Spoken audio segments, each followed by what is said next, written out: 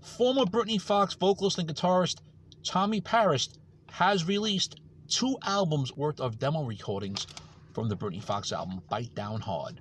My name is Sean Morrison. It's volume one and two. It has 10 demo tracks from the um Bite Down Hard released and um two personal um Tommy Paris solo tracks. The album also has a couple of cover tunes. Volume one shows the track Riff Raff, which is covered by which is originally by ACDC, and a smoking version of Slade's Little Sheila.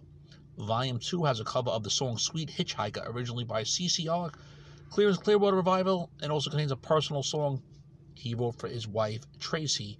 It's available on FNA Records. Two videos have already been released from it. From Tommy Paris called Lonely Too Long, which was on the Bite Down Hard album when it came out in 1991, as well as the song Roll Over You. I believe there was a similar album that came out with this material a while back, but not sure. So it's available on FNA, FNA Records if you want to um, purchase it. So far, I've heard those two tracks. I think they're good, the ones I mentioned. Lonely Too Long as well as Roll Over You. Shame, shame, shame.